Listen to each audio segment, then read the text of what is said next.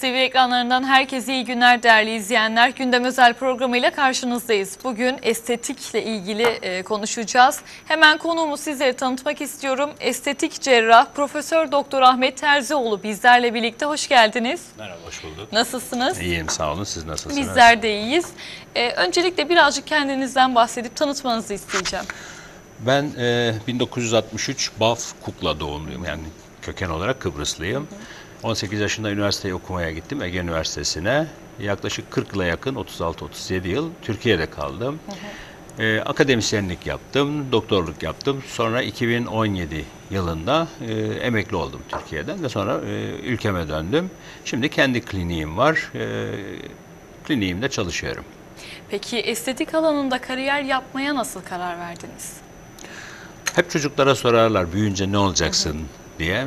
Ben ilkokuldayken e, öğretmenim sorduğunda ben o zaman televizyon yeni yeni ortaya çıkıyordu. Televizyonda izlediğimiz Türk film her cuma Türk filmi oynardı. İzlediğimiz filmlerin sonunda en son büyük yazılarla rejisör yazıyordu ve ben önemli biri olduğunu düşünüp rejisör olacağım derdim. Sonra bitirdik işte üniversiteye geçtik. Üniversite hayatında tabii tıp seçtim ama tıbbın hangi branşını seçeceğimi çok kararlı değildim. Sonrasında branşları stajlarda öğrendikçe ben fakülte sanıyorum dördüncü sınıftaydım. E, plastik cerrah olacağım dedim. Estetik cerrah olacağım dedim. E, o günden sonra da o hedefte yürüdüm. E, hedefime ulaştığımı düşünüyorum ve plastik cerrah oldum. Çünkü plastik e, tıpta branşlarda hastalar vardır. Oysa plastik cerrahide evet hastalar da vardır. Bunu tabii girdikten sonra daha iyi öğreniyorsunuz. Çünkü yanıklar, doğuştan gelen anomaliler, trafik kazaları, yüz kırıkları, deri kanserleri çok geniş bir alanı hitap ediyor plastik cerrahi. Bunları e, şimdilerde insanlar tabii çok ilgilenmiyor. Daha çok işin estetik kısmıyla ilgileniyor. Çünkü artık günümüzde para daha değerli. E, ama plastik cerrahi gerçekten çok geniş bir alan. E, hastalarla ilgilenmek, hastanın hastalığını, derdini sonlandırmak, yardımcı olmak apayrı bir duygu. Ama bir taraftan da farkına varmadan insanı yıpratan bir duygu. Hı hı. Çünkü hastayla hasta oluyorsunuz. E, onun pansumanda çektiği acılara ortak alıyorsunuz. Bu birazcık yıpratıcıdır. Ama işin estetik kısmı biraz daha keyiflidir. Ee, hatta hasta yok diyebilirsiniz. Çünkü estetik yaptıran insanlara hasta demek ne kadar doğru tartışılır. Çünkü sağlıklı bir insan keyfi olarak size geliyor bir işlem yaptırmaya, ameliyat ya da ameliyat dışı bir işlem yaptırmaya keyfi olarak geliyor. O yüzden onlar aslında hasta demeyebiliriz. Peki çalışma felsefeniz ve e, etik prensipleriniz nelerdir? Kendimce etik değerlerim vardır ve ben bunların dışına çıkmayı pek tercih etmem. Hasta e, benim aklıma yatmayan, benim doğru bulmadığım ya da yaptığımda sonuç almayacağımı düşündüğüm hiçbir işlem yapmam. Ameliyat dahil. Hı hı. Örneğin hasta geliyor, e, dolgu istiyor. Dudak dolgusu örneğin. Bakıyorsunuz dudağının dolguya ihtiyacı yok ama özellikle son 1-2 yıldır biliyorsunuz özellikle dudaklarda çok abartıya kaçıldı. Hastanın böyle bir talebi varsa yapmıyorum. Yani üzgünüm diyorum yapmıyorum. E, dün mesela öyle bir hastam geldi. Dudak değil, dolgu, şey pardon botoks. Botoks için geldi. Baktım hala bot daha önceden yaptırmış bir başka yerde yaptırmış. 3 ay geçmiş. Botoksu tam geçmemiş. Yapmam dedim. Geri gönderdim. Yani geçsin tam geçsin öyle gelin dedim. Şimdi etik değerler günümüzde her alanda giderek yıpranıyor. Her meslekte böyle. Topluma ya da dünyaya ne olduğu bilmiyorum ama gerçekten ahlaki etik değerler e, çok yıprandı. Ben kendimce bir çizgi tutturmaya çalıştım. Bu yaşıma geldim. İşte e, emekli de oldum aslında ama bu şimdi özel çalışıyorum. Kendi işimde de olabildiğince o ahlaki değerleri, sınırları korumaya çalışıyorum. Aslında e, bu sorumun sebebi siz cevabını verdiniz biraz ama e, şuraya bağlamak istiyordum. E, hastalar bazen dediğiniz gibi ihtiyacı olmayan dolgular veya botoksları isti- istiyor olabilir. Yani gerçekle bağdaşmayan istekleri olabiliyor. E, bu noktada onun isteklerine göre mi hareket ediyorsunuz yoksa asla ona yakışmayacağını anlatıp böyle bir şey yapmayalım mı diyorsunuz? Onu tercih ediyorum. Yani ben hastalarla konuşmayı çok seviyorum. Ee, zaman da ayırıyorum. İkna etmeye çalışıyorum. Hayır ikna olmuyorum. Ben yaptırmak istiyorum diyorsa da ben yapmam diyorum. Başka Böyle bir şansınız var. Şimdi hekim e, hastanın doktorunu seçme özgürlüğü var. İstediği doktora gitme özgürlüğü var. Doktorun bu e, tercih hakkı sınırlıdır. Örneğin acil hastalarda, zorunlu olduğunuz hastalarda ben buna bakmıyorum deme şansınız yok. Ancak başta konuştuğumuz gibi estetik durumlarda, keyfi durumlarda ben size işlem yapmak istemiyorum deme hakkınız var hasta gitsin istediklerini yaptıracak bir başka doktor bulsun diyebilirsiniz.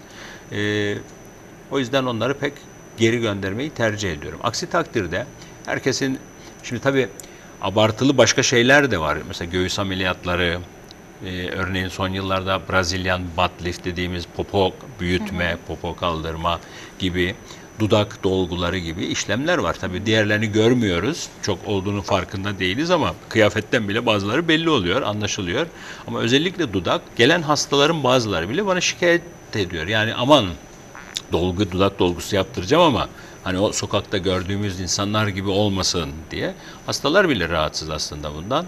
Ama e, sosyal medya özellikle internet ve sosyal medya bu konuda çok etkili. İnsanlar çok etkileniyor. Özellikle de gençler çok etkileniyor. Belli bir yaşın üzerinde olanlarda bu tür abartılı talepler pek gelmez. Hatta sizi uyarırlar aman çok abartılı olmasın diye. Ama gençler tam tersine olabildiğince abartıyı seviyorlar. Peki yaş sınırı geçmişe baktığınızda daha aşağılara mı indi? Evet, yaş sınırı giderek düşüyor. Özellikle cerrahi dışı estetik işlemlerin yaygınlaşması nedeniyle e, yaş sınırı giderek düşüyor. E, tercihim 18'in üstünde bütün hastalarım. 18'in altında hemen hiçbir hastaya e, bir işlem yapmam. E, bazen 17 yaşında bir genç kızımız eğer ailesi annesi babasıyla gelmişse örneğin burun ameliyatı istiyordur. 17 yaşında bunu ameliyat edebilirsiniz ama 18 yaşından küçük hiçbir kişiye cerrahi dışı bir işlem yapmayı tercih etmem. E, peki şu 2023 yılının e, trendleri nelerdir estetikte? Az önce söyledim aslında. 2023'te belki biraz daha geriye birkaç yılda geriye bile gidebiliriz. Eh, Brazilian butt lift yani Brezilya poposu dedikleri popo büyütme ve dudak. Çok trend. Eh, abartılı dudaklar çok popüler. Bir dönem eh, küçük burunlar moda olmuştu. Şimdi Brazilian butt lift dediğimiz hastanın kendi yağını aynı, aynı aslında iki işlemi birden yapıyorsunuz. Hem hastaya liposuction yapıyorsunuz, ki, e, zayıflatıyorsunuz ya da inceltiyorsunuz. Hem de aldığınız yağları atmak yerine bir değerlendiriyorsunuz, kullanıyorsunuz. İhtiyaç olan yerlere veriyorsunuz. Normalde yüze dolgu olarak da kullanılabilir. Ancak e, bu popoda yağ kullanma işi özellikle son yıllarda ciddi komplikasyonlar, e, özellikle de ölüm nedeniyle çok tartışılır durumda. Ee, yapmıyorum değil, yaptım ama özellikle bu komplikasyonlar ortaya çıkmaya başladıktan sonra olabildiğince kaçmaya başladım ben de bu işlemden ama son birkaç yıldır en popüler olan şeylerden biridir e, BBL diye geçer. Brazilian butt lift. E, dudak az önce de söyledik. Abartılı dudak dolguları çok popüler. Olabildiğince kaçmaya çalışıyorum. E, çünkü sosyal medya insanları çok fena yönlendiriyor. Çok kötü yönlendiriyor. O kadar e, özellikle de genç nüfus bu konuda çok hazır atlamaya bu olayın üstüne. E, doktorun dikkat etmesi lazım. Çünkü bazen e, karşılaşıyoruz. Hastayla doktor mahkemelik oluyor. Doktor diyor ki hasta ısrar etti ben de yaptım. Şimdi tıbbi olarak gereklilik yoksa hasta ısrar etti diye yanlış bir şey yapmanız sizi haklı göstermez. Yani en azından kanun önünde bile haklı duruma gelemezsiniz. Çünkü hasta isteyebilir. Hukukta bir hastaya tıbbi müdahale yapmanızı haklı gösteren nedenler vardır, kriterler vardır. Bunlardan birisi endikasyondur. Yani tıbbi gerekliliktir. Örneğin meme büyütme, tıbbi gereklilik endikasyonu koyabilirsiniz. Hastanın isteği önemli, hastanın rızası önemli, hastayı bilgilendirmeniz önemli ve bunu yapan kişinin de bir hekim, tıbbi bir e, personel olması gerekiyor. Örneğin hasta size gelip ya ben şu par beşinci parmağımı sevmiyorum, bunu alın buradan de- dese, alsanız, üç gün sonra hasta pişman olsa, gidip hakkınızda şikayetçi olsa siz suçlu duruma düşüyorsunuz. Çünkü bunu alma gerekliliğiniz yok. Tıbbi endikasyon dediğimiz endikasyon yok öyle bir durumda. O yüzden hastanın sizi zorlamasına, hastanın sizi yönlendirmesine izin vermemek lazım. Kriterleriniz olacak, doğru bildiğinizi, faydalı olacağınızı düşündüğünüz işlemleri yapacaksınız. Bu sadece hastalıkta değil, keyfi dediğimiz estetik uygulamalar için de geçerli. Ee, büyük dudakların bu ara e, çok popüler olduğunu söylediniz. Ee, bir anda milim milim olarak e, yapılıyor dolgu diye biliyorum. Ve bir anda çok fazla yapıldığında da bir zararı olmuyor mu dolgunun? Ee, önce onu düzeltelim. Milim uzunluk ölçüsü milimetreden mililitre kullanıyoruz. Mililitre. Yani hacim ölçüsüdür mililitre. Evet, e, piyasada mevcut dolguların neredeyse tamamı birkaç istisna dışında hepsi enjektör içerisinde hazır geliyor ve hemen tamamı 1 mililitre olarak hazırlanmıştır. 1.2 olan var, 0.55 olan var ama genelde 1.1 1 milimetre, mili- mili- mililitre hacimdedir dolgular. Hepsini yapsanız yeterli mi? Kişiye bağlı. Kişinin dudağı küçükse, darsa, e, hafif de varsa bir mililitre dolgu fazla gelebilir. O yüzden benim tercihim, benim e, tarzım hastaya biraz dolgu yaparım. Kalan dolgunun üzerine adını yazıyorum. Bir hafta sonra kontrole çağırıyorum. Çünkü uygulama sırasında da bir miktar şişliğiniz olur. Asimetriyi gözden kaçırabilirsiniz. Bu şişlik nedeniyle asimetri gizlenmiş olabilir. Bir hafta sonra hasta geldiğinde şişlikler iner. Eğer asimetrisi varsa önce o asimetri düzeltilir. Asimetri yoksa ama hala hastanın biraz daha dolguya ihtiyacı varsa kendi dolgusu, kalan dolgusunu takviye edip uyguluyorsunuz. Eğer hala dolgu kalmışsa benim uygulamam hastanın dolgusunu 2-2,5 ay kadar saklıyorum. Hasta 2-2,5 ay sonra geldiğinde kalan dolgusunu kullanıp dudağı bir miktar daha kalınlaştırıyorum. Zaten bir kısmı erimiş olacak. Bir miktar daha dolgu Ne kadar yapıyorum. sürede eriyor peki o dolgular? Dolguların ortalama ömrü 10 ayla 1 yıl arasında değişiyor ortalama. Daha uzun olanlar da var, daha kısa eriyenler de var.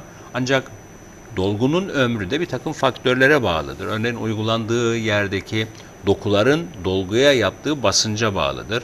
O bölgeyi ne kadar çok kullandığınıza bağlıdır. Ee, örneğin kaş ortasında derin çizgiler olduğunda oraya botoks yapmadan dolgu yaptığınızda hasta eğer kaşlarını çok sık çatıyorsa ve güçlüyse çok kısa sürede o dolgu erir. Ancak böyle bir hastaya önce botoks yapıp aynı anda ya da kısa bir süre sonra o çizgilerine dolgu yaparsanız botoksun etkisi nedeniyle kaşlar hareket edemeyeceği için, kaslar kasılıp dolguya bası yapamayacağı için o dolgunun ömrü daha uzun olacaktır. Ee, peki hasta dolgu yaptıktan sonra ne, ne tür komplikasyon diyeyim ya da karşılaşıyor? Çünkü şunu çok görüyoruz dediğiniz gibi sosyal medyada çok yayıldığı için böyle şeyler e, dolgu yaptıktan sonra video çekip işte uçuk sardı her yerimi, şişti dudaklarım. Yani bunun sebebi merdiven altı diye tabir edilen durumdan dolayı mı yoksa normal mi? Bir kere uçuğu olan hastaya dudağa, dudağa herhangi bir işlem yapılmaz. Duduğun, ge- du- e, uçuğun geçmesini beklemek gerekiyor. İki, kullanacağınız dolgu önemli. No name dolgular da var. Yani isimsiz dolgular da var. Bilinen, güvenilirliği olan dolgular da var.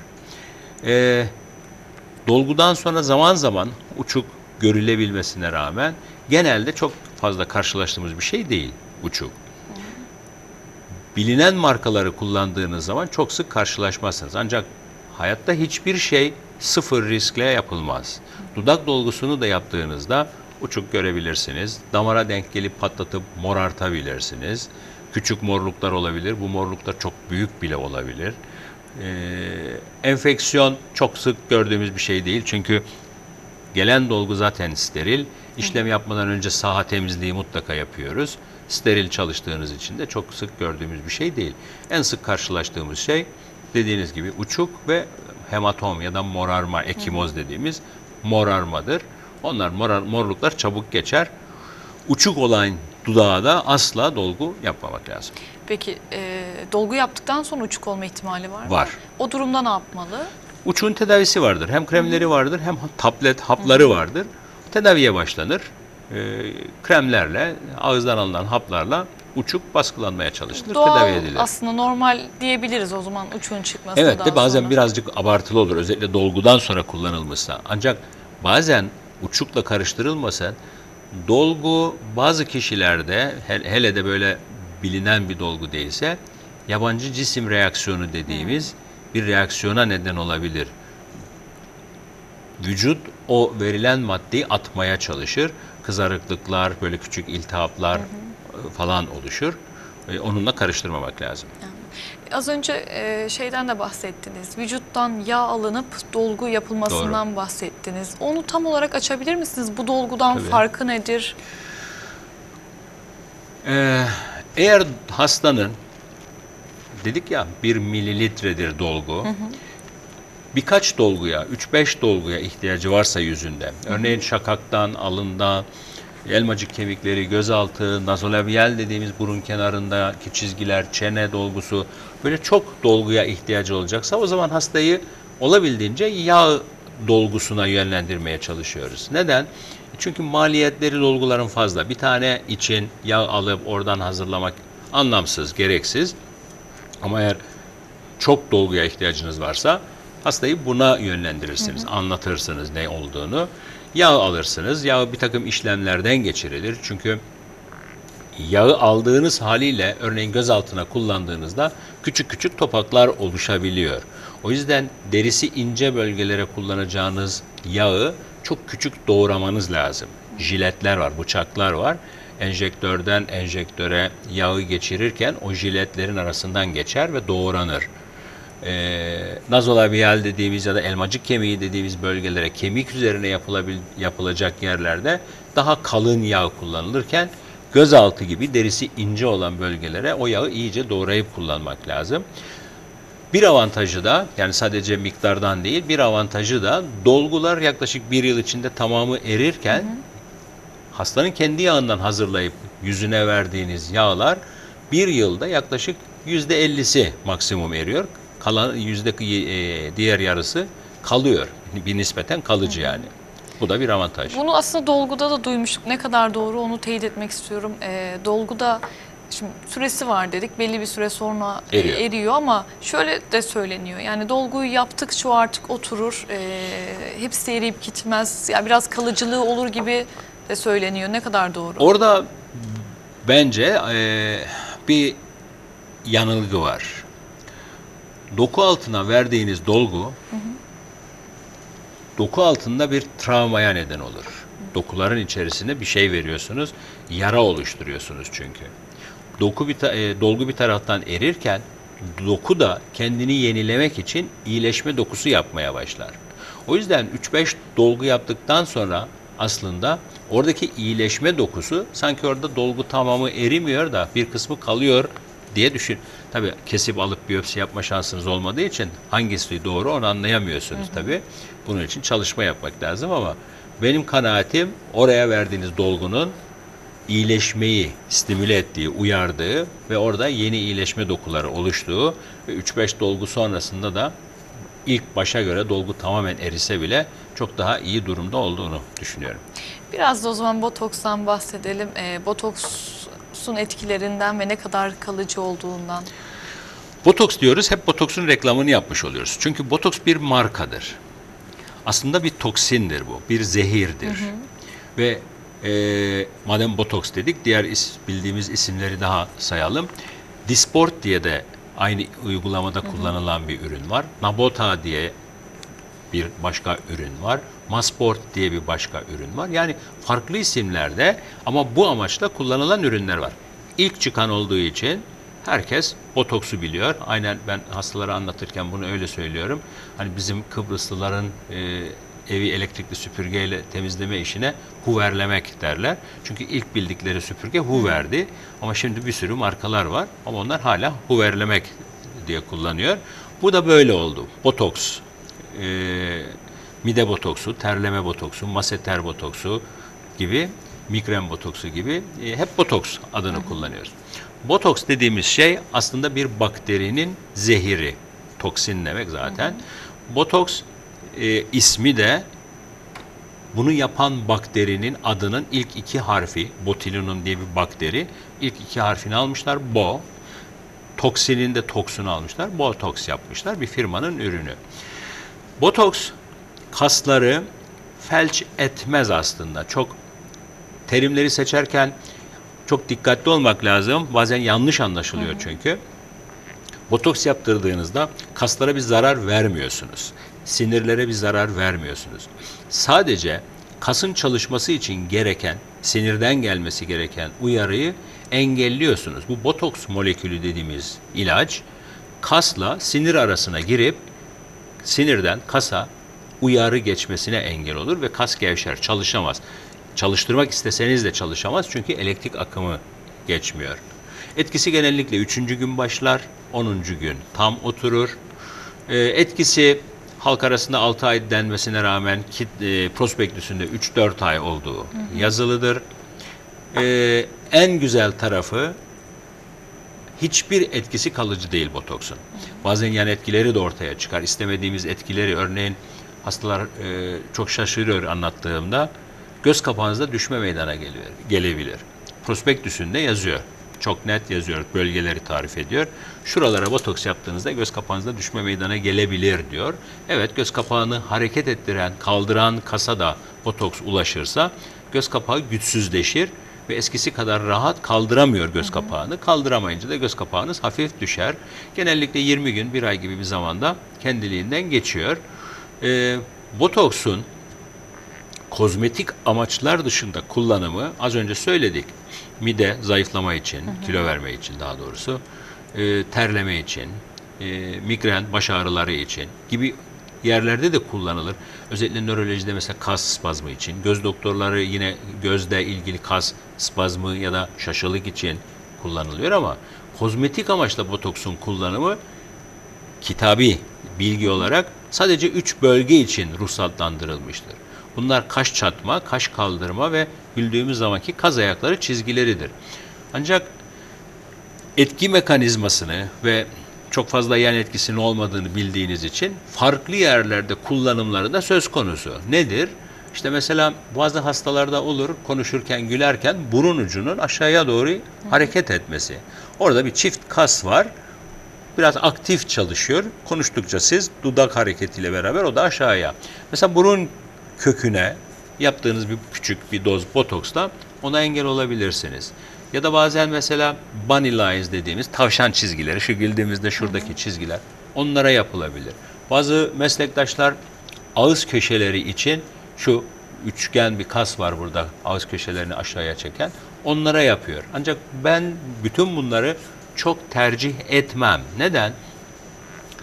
Yüzün üst tarafında botoks yaptığınız bölgelerde etkilenecek çok fazla istemediğiniz, etkilenmesini istemediğiniz çok fazla kas yok. İşte bir tane göz kapağı kası var. Ancak özellikle alt yüzde, ağız çevresinde çok fazla iç içe geçmiş kas var. Spesifik olarak, özellikli olarak ben şu kası etkilesin istiyorum deme şansınız yok. Siz o niyetle yapıyorsunuz ama botoks biraz dağılıp istemediğiniz bir kası da etkileyebilir. Dudak kontrolden çıkabilir. Yedikleriniz, içtikleriniz dudağınızın kenarından e, sızabilir. O yüzden ben çok önermiyorum. Kendim de çok yapmıyorum. İstenmeyen sonuçlar da doğurabilir. Ee, yine dolguda da sormuştum. Botoksta da şöyle bir e, söylem var. E, yaptıkça kırışıklık olan bölgede e, azalma yapıyor ve çıkacak kırışıklıkları da önlüyor gibi bir algı da var. Yani böyle bir söylem de var. Bu ne kadar doğru? Şöyle, botoks az önce anlattım. kas çalışması sırasında ortaya çıkan çizgiler üzerinde etkili. Çünkü kasın çalışmasına engel olur. Dolayısıyla kas çalıştığı zaman ortaya çıkan çizgilerin ortaya çıkmasına engel olur. Oysa dolgu normal bakışta var olan çizgileri adı üzerinde çukurlukları, çizgileri doldurmak için kullanılır. Şimdi botoksu kullandığınız zaman mimik hareketlerine engel oluyorsunuz. Mimik hareketleri demek tekrarlayan çizgiler demektir. Örneğin kaş çatma, çattığınız zaman hep burada ortada bir ya da iki tane dikey çizgi oluşuyor. Yıllar içerisinde bu çizgi bir süre sonra kalıcı hale geliyor. Eğer siz bu kalıcı hale gelmeden botoksa başlayıp düzenli olarak botoks yaparsanız evet bu çizginin kalıcı hale gelmesine engel olursunuz.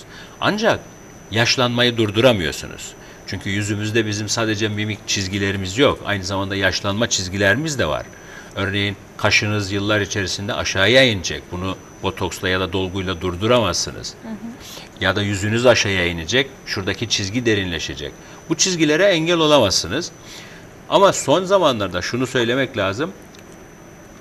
Nereden ortaya çıktı bilmiyorum. Ee, uzun süre botoks yaptırırsanız kaslarınız felç olur. Botoksu bıraksanız da e, Evet. şöyle kaslarınız öyle bir şey yok. Bak kaç yıldır botoks piyasada kullanılıyor. Botoksu bıraktınız mı dediğim gibi en güzel tarafı her şeyiyle geri dönüyor. Peki e, bunların yeterli gelmediği durumlar olabiliyor ve daha fazla estetik yapmak isteyenler oluyor. Kesiksiz ve işsiz e, işlem mümkün mü? Gençleşme işlemi. Tabii botoks, dolgu, bazı cihaz uygulamaları, işte iple askı i- işlemleri, mezoterapiler, işte e, cihazların içine altın iğneyi de sokmak lazım. Mezoterapi yani bu tür işlemler cerrahisiz işlemlerdir. Kimisi ağrılı, kimisi ağrısız ya da az ağrılı ama e, hepsi cerrahi dışı işlemlerdir ve aslında büyük bir sektör giderek yaygınlaşıyor. Giderek sürekli yeni ürünler çıkmaya başlıyor. Şimdi nereden başlayayım bilmiyorum. Mesela mezoterapi. Mezoterapi mezo orta demektir. Terapi tedavi demektir. Orta tedavi. Neyin orta tedavisi? Derinin orta tedavisi. Yani derinin orta tabakasının tedavisi. Neden? Deri yaşlanmasını sadece sarkma olarak düşünmemek lazım. Derinin iki tabakası var temel olarak. Üstte hani güneş yanığı falan olduğumuzda soyulan ince zar gibi bir tabakadır. Onun altında daha kalın olan, içinde kolajen, elastik lifler, bütün besleyici maddelerin, hücrelerin olduğu derinin derin tabakası. Yaş ilerledikçe bu maddeler azalır. Azaldıkça o derinin alttaki kalın tabakası da incelir. Üstündeki ince deri de ince kırışıklıklar olmaya başlar. Bunun tedavisi için ya bu derinin orta tabakasında eksilen maddelerin vücut tarafından yapımını uyaracaksınız. Örneğin altın iğne gibi uygulamalarla, ısıtma, hayfı denilen cihazlarla bunu yapacaksınız. Ya da derinin orta tabakasında eksik olan maddeleri yerine koyacaksınız dışarıdan. Mezoterapi farklı ürünlerin minik iğneler aracılığıyla derinin orta tabakasına verilme işlemidir. Her amaç için farklı mezoterapi ürünleri vardır. Standart değildir. Ama mesela yine çok popüler gençlik aşısı, Paris ışıltısı gibi uygulamalar var. Aslında bunlar da bir tür mezoterapi uygulamalarıdır. Ancak içerikleri farklı ilaçlar, vitaminler değil. Bunun içerikleri hyaluronik asittir temel olarak. Nedir bu? Az önce bahsettiğimiz, hep konuştuğumuz dolgunun maddesi. Bunu böyle birazcık daha sıvı, su tutabilecek şekilde derinin e, orta tabakasına veriyorsunuz. Hem o kadar çok iğne yapıyorsunuz ki aslında derinin orta tabakasının iyileşmesini stimüle ediyorsunuz, uyarıyorsunuz ve deri yeni dokular yapıyor. Bir taraftan da dışarıdan o eksilmiş maddeleri veriyorsunuz. Bu mezoterapi. Az önce bahsettik ki gençlik aşısı ya Paris ışıltısı gibi uygulamalarda söz konusu. İplerle askı. İplerle askı e, küçük uyuşturarak kaş kaldırmak, şakak germek, yüzün e, sarkmış bölgelerini ameliyatsız bunları yapmanız mümkün. Cihaz uygulamaları az önce de yine söyledim. Hani altın iğne var bunun içinde. HIFU denilen e, yüksek yoğunluklu odaklı ultrason bildiğiniz ultrasona benzeyen bir mekanizma ses dalgalarıyla e, derinin derin tabakası, askı tabakası e, ısıtılır. Küçük yanık odaklar oluşturulur. O da iyileşirken sıkışarak yani daha doğrusu dokular yukarı doğru büzüşerek iyileştiği için lifting etkisi yapıyor. Ee, şöyle bir soru daha soracağım size. Yaşlanmayı durduramıyoruz dediniz, durduramıyoruz dediniz ama yani geciktirebiliyoruz. Doğru. Ee, mesela kremlerden yola çıkarak bunu söylemek istiyorum. 30 yaşından sonra işte retinol kullanımı ya da ne bileyim çeşitli kremler, C vitamini kullanımı e, bunlar yaşlanmayı geciktirir deniyor. Peki e, bu botoks dolgulardan yola çıkarak ya da mezoterapi gibi e, altın iğne kaç yaşından itibaren yapılmalı? Yani bu atıyorum dediğim gibi 30 yaşında işte mezoterapiye başladığında e, yaşlanmayı daha da geciktirebilir miyiz? Bunun bir yaş sınırı var mı? Bu tür uygulamalara başlama yaşı yok. Benim kitabımda yok.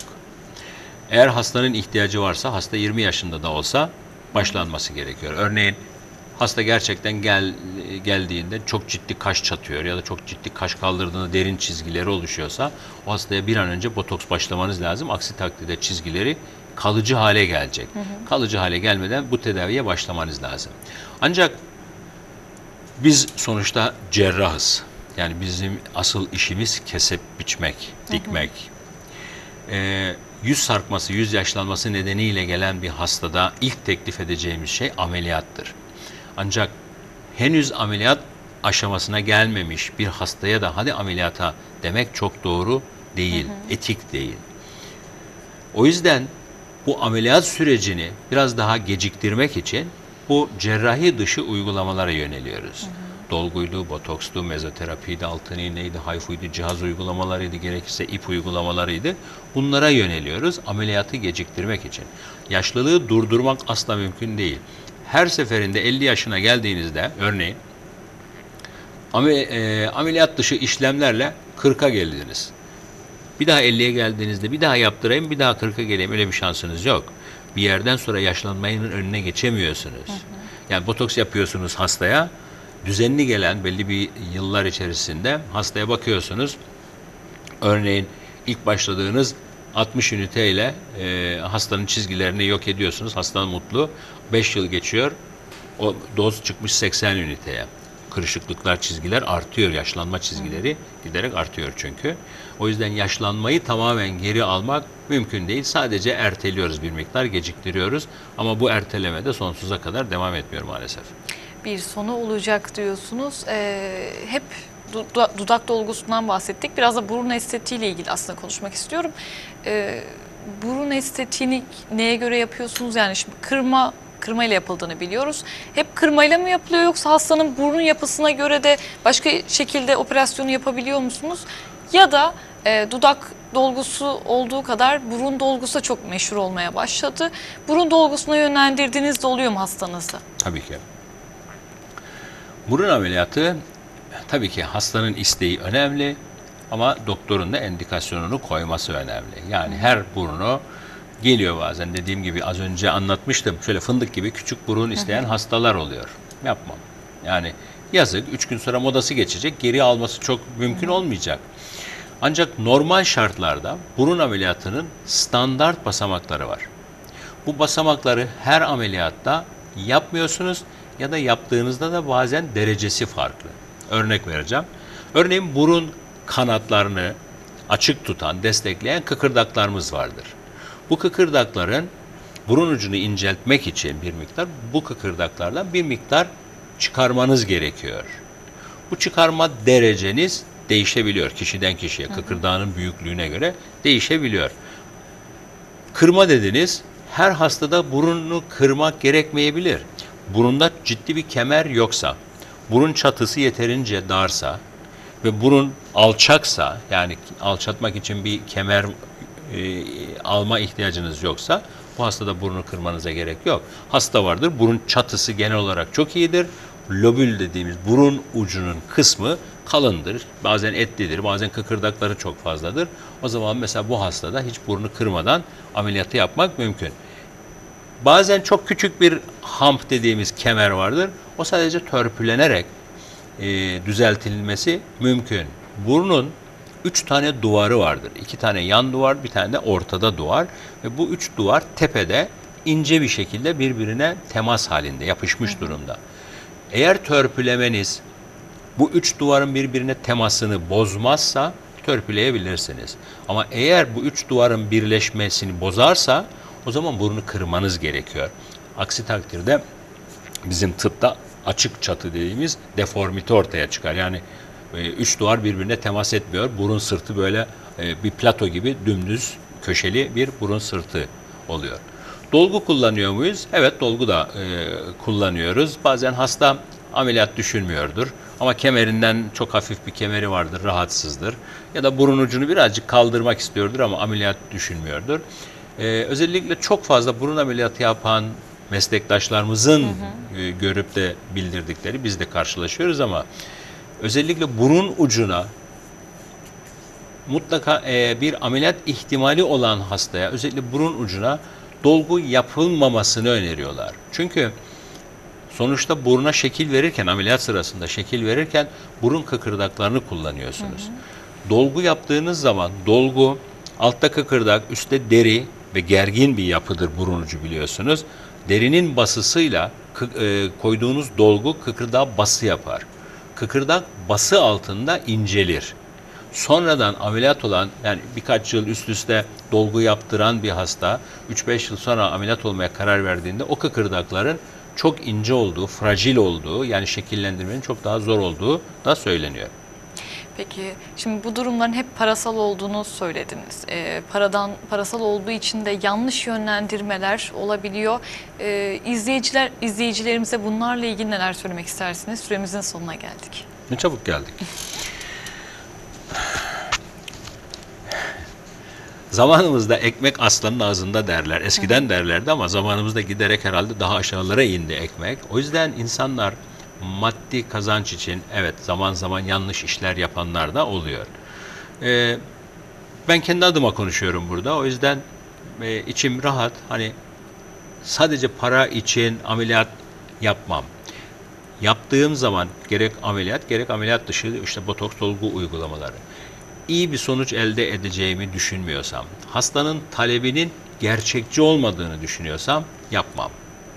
Yani doğru davranışım bu olduğunu düşünüyorum.